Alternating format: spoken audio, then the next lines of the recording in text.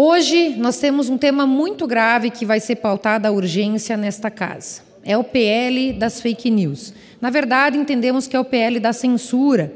Sim, porque ao analisar esse projeto de lei, nós vamos perceber que dois pontos muito graves que eu vou tra trazer aqui devido ao uso do tempo, mas por exemplo assim, está sendo transferido um poder de polícia para as plataformas digitais para que elas analisem e tirem as postagens potencialmente ilegais. Então, algo que era visto pelo Poder Judiciário, que é um poder exclusivamente do Estado, agora as plataformas digitais vão ter a responsabilidade de censurar as pessoas que até então se expressam livremente nas redes sociais. Sim, porque tudo o que aconteceu na política recente do país é fruto dessa liberdade que nós temos nas redes, de poder livremente nos expressar, expressar as nossas opiniões. E, no entanto, vou dar exemplo para vocês.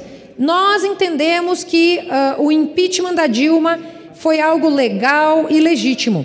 Mas, se a plataforma entender tiver na dúvida se isso foi legal ou não, ela pode submeter a um tal de um comitê, que vai ser criada uma entidade que vai analisar esses conteúdos. Só que essa entidade, quem vai nomear é o Poder Executivo. Ou seja, atualmente o Poder Executivo é de esquerda. Se ele nomear as pessoas que notoriamente são de esquerda, eles vão dizer que o impeachment foi golpe, logo é uma mentira aquilo que eu postei e vão tirar a minha postagem.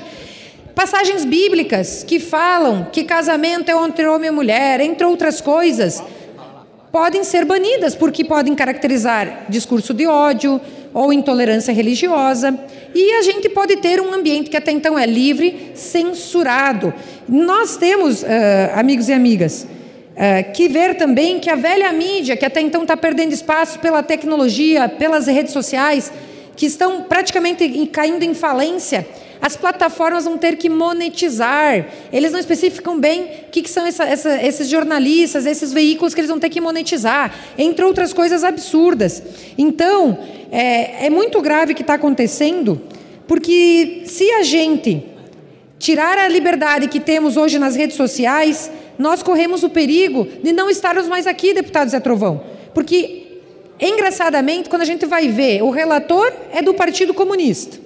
A gente sabe que esse projeto está recebendo uh, sugestões do Poder Judiciário, que foi o grande censor. E agora, em vez de censurar, já que a censura prévia é proibida no Brasil, eles estão delegando que as plataformas censurem previamente os conteúdos, acabando com a nossa liberdade nas redes. Nós não podemos deixar isso acontecer. É o povo brasileiro que vai ter uma, vai ser calado nas redes sociais. Por isso nós temos que votar não à urgência do PL da censura, porque senão nós não podemos mais falar os que pensamos aqui no Brasil.